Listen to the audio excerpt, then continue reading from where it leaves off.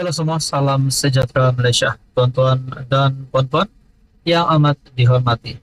Pada tarik 31 Ogos 2024, satu tarik yang bersejarah, yang saya boleh katakan satu tarik untuk kemenangan Anwar Ibrahim sebagai Perdana Menteri. Bahkan sehingga tarik yang bersejarah ini, Anwar Ibrahim masih belum ditumbangkan walaupun banyak gesaan daripada musuh politik Anwar Ibrahim untuk beliau letak jawatan untuk beliau uh, uh, beliau dipecat. Pada akhirnya yang berlaku pada 31 Agustus 2024. Dedikasi khas buat Anwar. Tarian cuci rasuah guna penyapu gempak habis. Peserta persembahan Hari Merdeka hari ini mencuri tumpuan ramai apabila menggunakan props berupa peralatan pembersihan seperti penyapu dan tong sampah sebagai simbolik mencuci rasuah. Penggunaan penyapu itu sendiri sudah menyampaikan mesej perangi rasuah yang selama ini menjadi perjuangan Perdana Menteri. Difahamkan tarian cuci rasuah ini didedikasikan khas buat Datuk Seri Anwar Ibrahim. Persembahan yang dijayakan 515 warga Jabatan Kebudayaan dan Kesenian Negara JKKN itu diiringi medley beberapa lagu patriotik yang disingkatkan menjadi musik berentak rancap dan diikuti lagu baharu bertajuk Cuci Rasuah lebih menarik ke semua mereka mengenakan baju berwarna jingga sebagai simbolik bahwa individu yang ditahan pihak berkuasa kerana disyaki terlibat rasuah akan memakai baju lokap berwarna oranye. Pengarah artistik konsep bagi sambutan Hari Kebangsaan, Rosnan Nordin berkata, persembahan ini adalah kejutan untuk Perdana Menteri berserta lagu yang beliau hasilkan sendiri yang tidak pernah dimainkan di corong radio.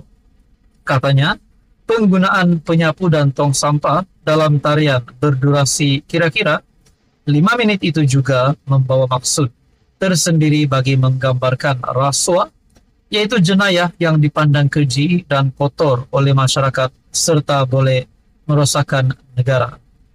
Saya selalu baca kenyataan Anwar. Beliau sering cakap pasal banteras rasuah kalau boleh daripada sekecil-kecilnya sehingga sebesar-besarnya case, saya tertarik dengan kenyataan ini. Saudara-saudara, bagi saya ini satu kredit terbaru untuk anak kelahiran Pulau Pinang itu.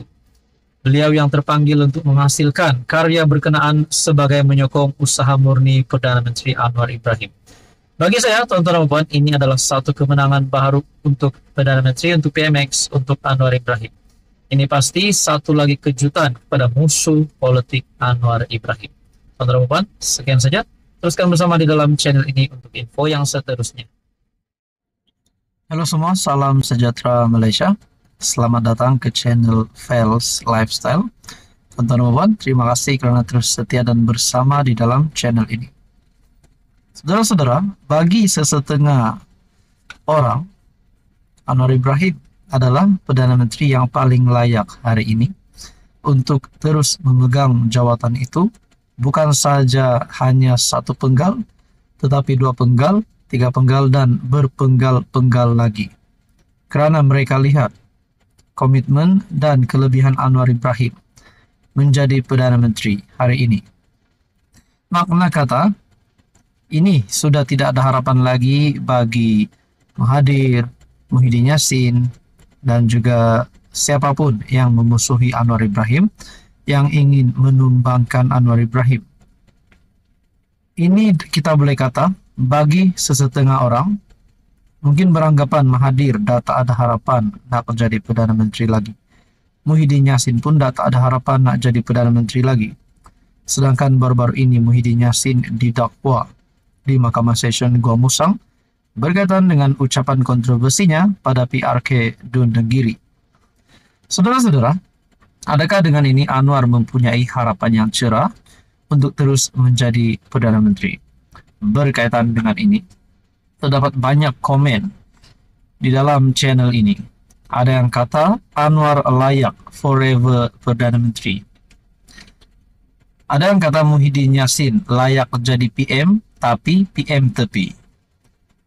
Ada juga berkata di sini, Tan Sri Muhyiddin Yassin sebenarnya dipilih rakyat untuk jadi Perdana Menteri karena ada 115 sokongan, malangnya dia sudah ditipu.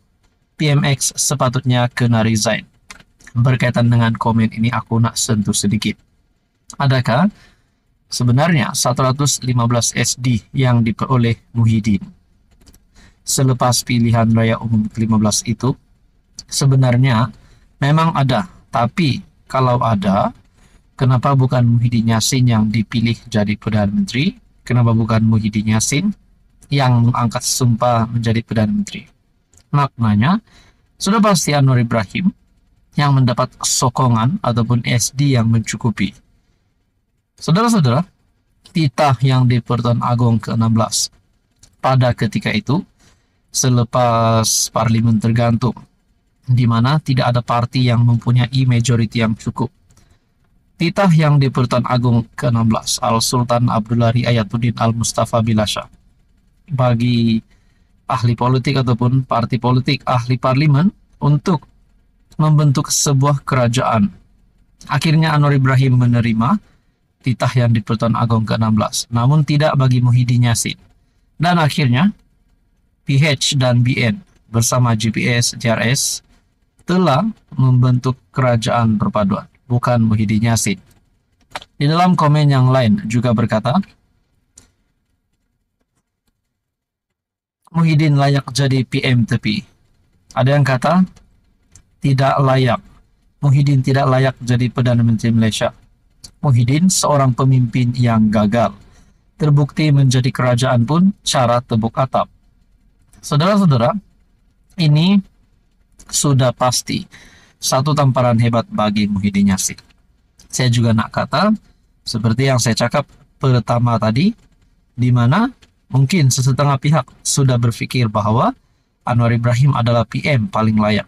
Ah, makna kata hadir Muhyiddin ataupun mana-mana pihak yang coba untuk menjatuhkan Anwar Ibrahim, menumbangkan Anwar Ibrahim, ah, nak gesa Anwar Ibrahim letak jawatan Akhirnya perkara ini dipatahkan, perkara ini dimatikan.